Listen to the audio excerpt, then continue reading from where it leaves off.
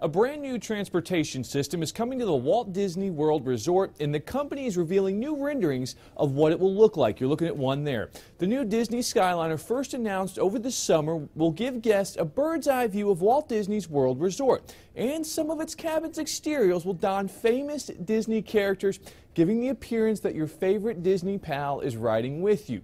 Disney's Caribbean Beach Resort Station will be the hub of activity for Disney Skyliner. You're looking at it there. This stop will be inspired by the open air village marketplaces of the Caribbean. Passengers traveling from here to the Disney's Hollywood Studios station at the park's main entrance can expect a new aerial perspective of the park's iconic attractions.